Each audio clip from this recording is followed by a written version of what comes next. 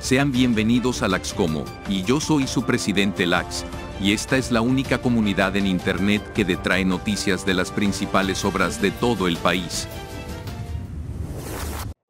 Gobierno Regional de Puno. Construcción del puente carrozable sobre el río Ramis del distrito de San Antón. La Gerencia Regional de Infraestructura construye el proyecto. Recuperación del servicio del puente carrozable sobre el río Ramis del distrito de San Antón, provincia de Azángaro, departamento de Puno, donde se verificó los trabajos y avances. En la actualidad la obra se encuentra en su etapa final y se prevé su culminación para el 12 de octubre. Es una gran satisfacción de poder ya ver de que este puente, eh, sueño de muchos años, de muchas generaciones, eh, principalmente para todos los pobladores de San Antón y varios sectores, por voluntad política eh, del gobierno regional, en este caso del doctor Richaranco, ha sido posible la culminación de este puente importante para San Antón y a nombre de nuestro distrito como autoridad me cabe felicitar y también agradecer.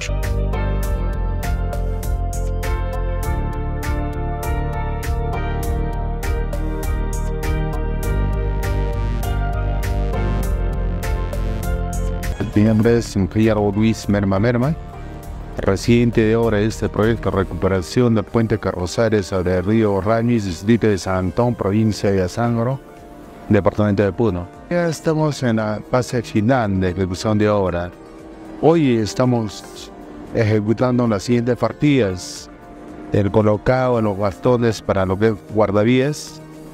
Estamos eh, continuando con lo que es el muro de contención al frente hacia el cementerio y estamos ya eh, con lo que es terminando lo que es jardinería. Como usted ve, ya hemos terminado el sembrío de lo que es el gras. El día 12 debemos terminar la obra, porque solamente tenemos ampliación de plazo hasta el día 12 de octubre. El compromiso del doctor Richaranco es terminarlo lo más antes posible. El compromiso mío como residente de obra es cumplir con mi compromiso con el doctor. Gobierno regional puto.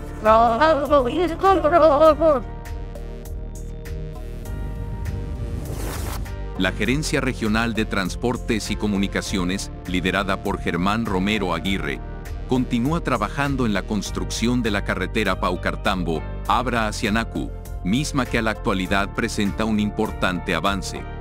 El proyecto tiene una inversión superior a los 77 millones de soles, fortaleciendo la conexión entre los distritos de Chayabamba y Cosnipata e impulsando el desarrollo de la región, contribuyendo en las actividades económicas y turísticas, ya que se presenta como una vía alterna a la entrada del Parque Nacional del Manu con el objetivo de fortalecer la conexión entre ciudades y optimizar el traslado de más de 14.000 habitantes en adecuadas condiciones de transitabilidad, la Gerencia Regional de Transportes y Comunicaciones, liderada por el ingeniero Germán Romero Aguirre, continúa trabajando en la construcción de la carretera Paupartambo-Abra-Janapu, misma que en la actualidad presenta un importante avance respetando el cronograma establecido. Ahora consta pues de un asfaltado de doble vía eh, a nivel, un aspecto definitivo, eh, es, la longitud es de 25.4 kilómetros. Eh, se, está, se viene realizando actualmente los trabajos de movimiento de tierras con maquinaria. Contamos alrededor de 13 maquinarias con las cuales estamos trabajando. Sin embargo, también tenemos personal de piso que viene acompañando en la ejecución de estos trabajos. Eh, manifestarles que el presupuesto de la obra pues aborda más de 77 millones. Nuestro plazo de ejecución son 20 meses. Estamos proyectando terminar el proyecto a finales del próximo año. Sí, como te mencionaba, sí estamos ya nosotros implementando ya el trabajo, los trabajos nocturnos. Eh, actualmente ya venimos trabajando en horarios extendidos, sin embargo la siguiente semana se va a dar inicio ya efectivo ¿no? con, el, con los trabajos de doble turno. Ratificamos nuestro compromiso de trabajar para proporcionar adecuadas condiciones de transitabilidad vehicular, mejorando la calidad de vida, facilitando la fluidez del tránsito vehicular y optimizando el transporte de pasajeros y de carga. El gobernador regional de Ayacucho, Wilfredo Oscorima Núñez, hizo un recorrido por las principales obras que se ejecuta dentro de la ciudad de Ayacucho los cuales se viene afianzando de acuerdo al expediente técnico y aseguró que su culminación se dará dentro de los plazos establecidos. Se trata de la obra carretera Yanamilla-Totora, asfaltado de más de 2 kilómetros, con una inversión de 16 millones de soles, el Santuario de la Memoria, La Hollada, con un presupuesto de más de 37 millones de soles, carretera La Picota Huascaura, con una inversión de más de 10 millones de soles, y construcción de la institución educativa, Los Libertadores, que cuenta con un presupuesto de más de 40 millones de soles, obras que viene ejecutando el gobierno regional de Ayacucho, bajo la modalidad de administración directa. El gobernador regional de Ayacucho, Wilfrido Corima Núñez, visitó obras emblemáticas que viene ejecutando el gobierno regional de Ayacucho, como el Santuario de la Memoria La Hollada, proyecto que tendrá una inversión de 39 millones de soles. Asimismo, en su recorrido, verificó avances de construcción del asfalto Yanamilla-Totora, obra que tendrá una inversión de más de 16 millones de soles y mejorará la transitabilidad vehicular y peatonal.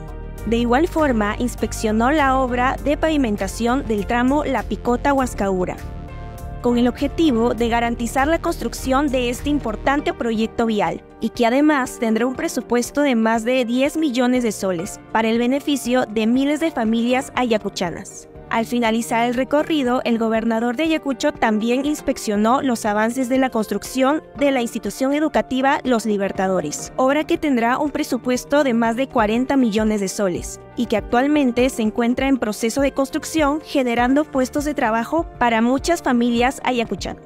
Parte del trabajo de un gobernante eh, ir a visitar las obras que viene ejecutando el gobierno regional, por tanto estamos viendo aquí el avance importante en todos los proyectos.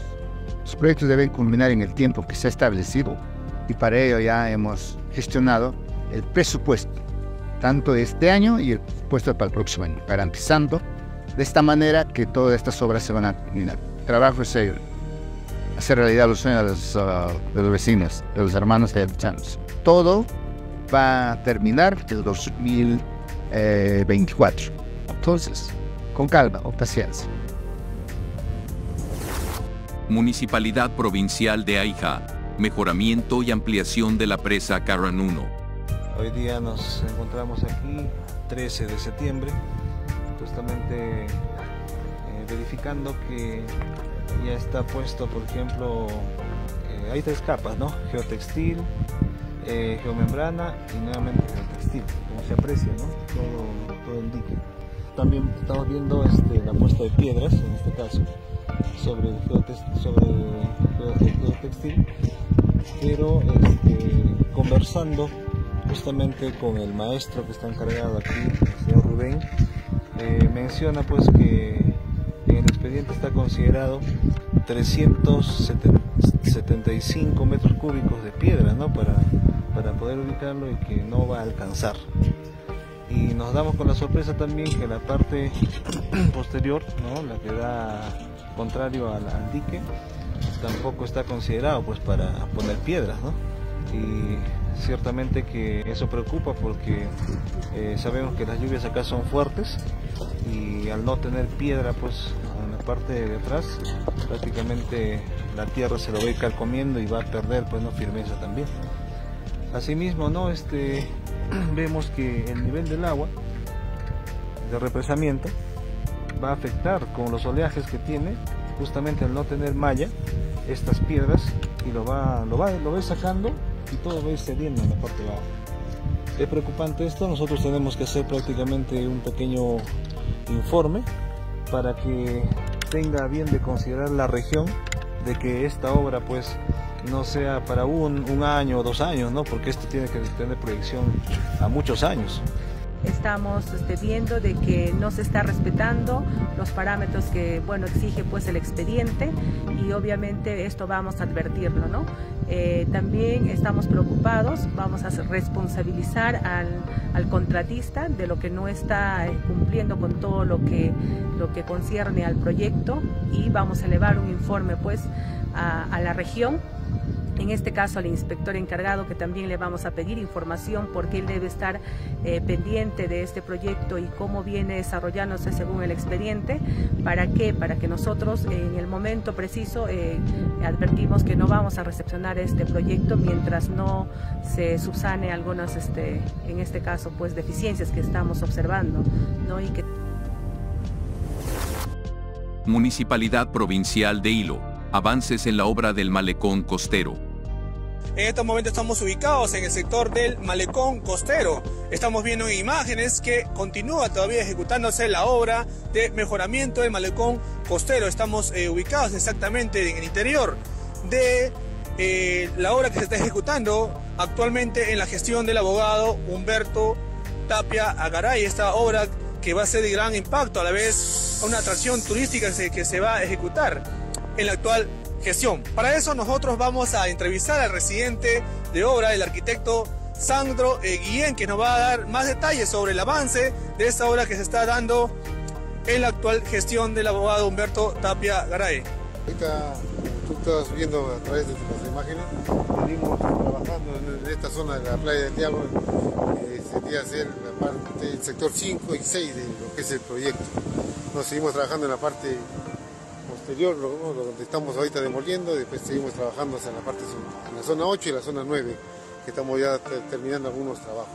Eh, arquitecto, cuéntenos qué se viene ejecutando actualmente, eh, lo que estamos viendo en imágenes, ¿no? ¿Qué es lo que se viene eh, haciendo actualmente para que la, la, población pueda entender un poco más sobre ello? No, ahorita, según las imágenes, estamos, venimos vaciando todo lo que son pisos, ¿no? pisos y caminerías en esta playa, que es, vendría a ser la, la vereda secundaria. ¿No? En la parte del fondo se ve que estamos, seguimos trabajando con los muros de piedra caravista, ¿no? seguimos terminándole y colocándole la baranda en la parte superior ya se ha compactado, todo este terreno es un proceso constructivo, primero hemos compactado y se han sacado los ensayos, las muestras y posteriormente el encofrado y ahorita estamos ya con los trabajos de concreto premezclado. Muy bien, estamos viendo también que también cuentan con, este, más que todo, con equipos de, de, estos este, vehículos que traen, este, hacen más fácil, fácil el trabajo de eh, uso de la mezcla de cemento. Correcto, con, esto, con estos tipos de maquinaria o equipos se optimiza el tiempo, el tiempo del paseo.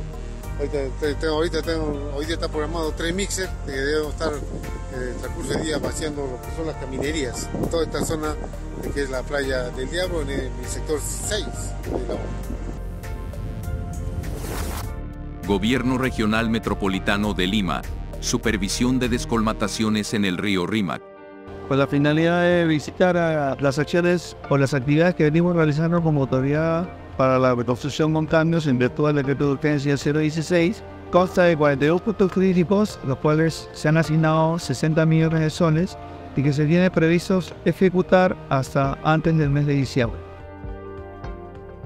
Estamos por encargo del alcalde Rafael López Santiago del gobierno regional metropolitano para poder terminar los labores que se lugar a duda no solamente van a sumar a, a la propia región metropolitana, la metropolitana de sino también a los distritos donde tenemos y ver no pero hacer es pues lugar trabajo con los y no pues ir al tratamiento de las vamos a tener que hacer eh, un trabajo muy importante durante este periodo de, de prevención hacia lo que es la emergencia climática que se avecina, pero también vamos a tener que pensar que lo que va a ser una labor ya constante los siguientes, porque hay que presentar a cada net de que esta labor tiene que ser continua y permanente.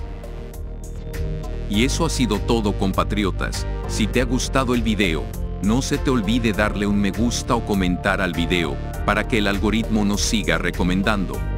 Laxcomo forma parte de una comunidad de países.